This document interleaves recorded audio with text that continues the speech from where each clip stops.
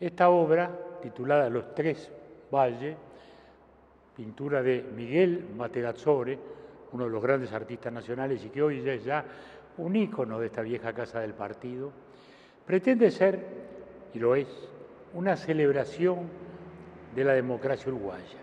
Entre 1900 y 1930, tal cual se dice allá arriba, que son los años en que se construye esta democracia social fundamental que hoy seguimos disfrutando y que se simboliza a su vez en la figura ascendente de José Valle Ordóñez.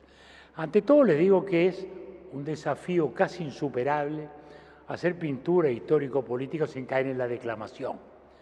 Ni hablemos de lo que fue la pintura del realismo soviético, ni hablemos de lo que fue incluso el muralismo mexicano, que cae en la, retórica declamatoria, o bien en cosas tan abstractas que luego no son entendibles para el común. Esto, esto es un desafío enorme que a nuestro juicio ha logrado con éxito esta fantástica obra. Para empezar, tiene una forma tradicional de retablo. Para seguir, tiene una estructura constructivista, básicamente. O sea que sigue dentro de lo que serían las reglas tan conocidas para nosotros del arte constructivista de Torres García.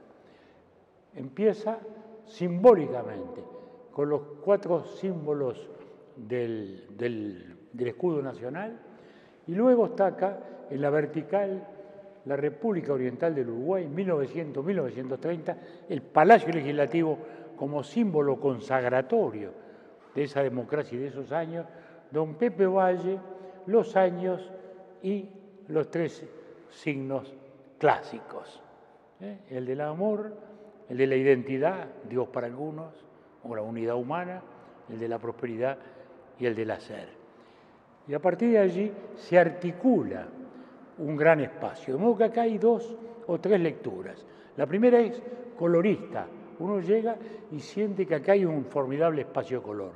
Bategasore es un teórico del, color y por esto logra este efecto sinfónico de que se armonicen colores tan, tan diversos. En segundo lugar, tenemos, como decimos, esa estructura constructivista, hecha con estas este, estructuras geométricas que se van articulando en, una sucesión rítmica en la cual se alternan las letras con los signos. Y esto tiene también un enorme valor artístico. Ustedes han visto que en el constructivismo de Torres hay letras. Bueno, las letras acá juegan también como un factor estético, como un factor plástico, como algo que se mira, como uno puede mirar una escritura china o una escritura japonesa, que tienen siempre esa, esa visualización, este, eh, digamos, estética.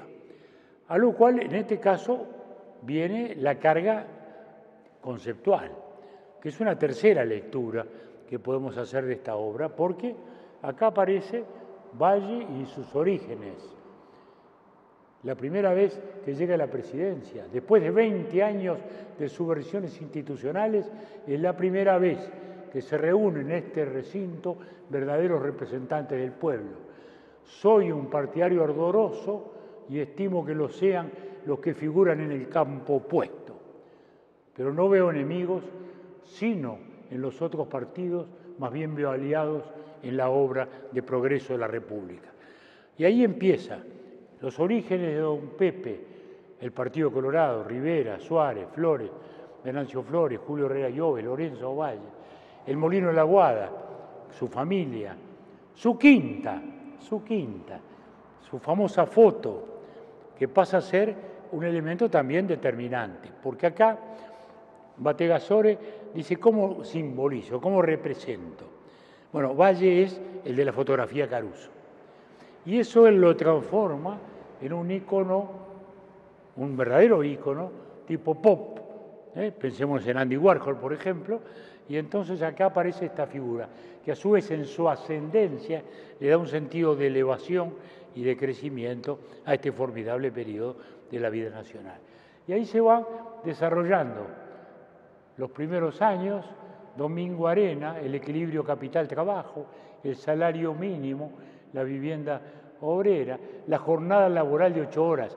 Y aquí empiezan ustedes a ver cómo letra, estructura, color y símbolo, ley de ocho horas, ahí está el reloj.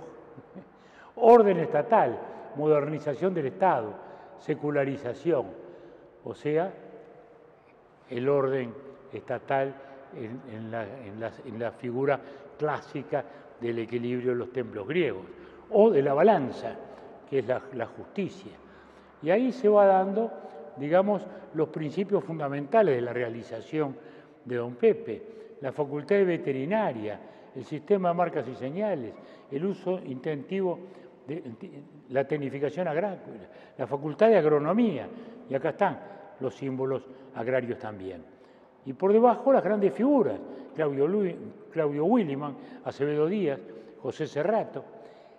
También aparecen adversarios, porque esto no es solo una historia colorada.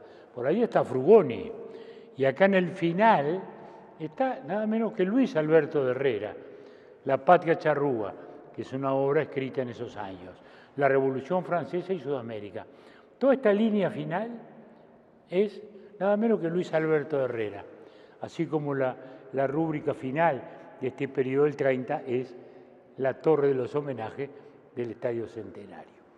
Con esto les estamos mostrando, digamos, cómo hay un equilibrio de letra y un equilibrio de imágenes. Por ejemplo, dice aquí, equilibrio de género, Valle seudónimo Laura, que era como se firmaba en sus artículos feministas Don Pepe, ley de divorcio, el símbolo femenino. La política internacional, equilibrio internacional, con dominio del Estado del Río de la Plata y de la cuenca de la Laguna Meringa, la gran disputa que hubo cuando Argentina pretendía que todo el Río de la Plata era argentino. Y acá tenemos los símbolos de la soberanía, la fortaleza y el caballo, o sea, símbolos de la libertad y de la fortaleza, o sea, en los símbolos del escudo nacional. Y así vamos avanzando en la construcción, en, lo que significó aquel periodo, en la obra creativa de Pedro Figari, de pensamiento de Boa Ferreira, de José Enrique Rodó, de, la abolición de la pena de muerte, eh, el pintor Pedro Figari, pintor de la memoria rioplatense, María Eugenia Baferreira, Delmira Agustini, Juana de Barburú, las tres grandes poetas femeninas. Es decir, ese es el gran Uruguay de 1900 a 1930. Ese es el gran Uruguay de la construcción democrática, de este Estado de las libertades, pero este Estado del equilibrio social, de este Estado de la cultura, de esta sociedad que miraba hacia el, hacia el futuro.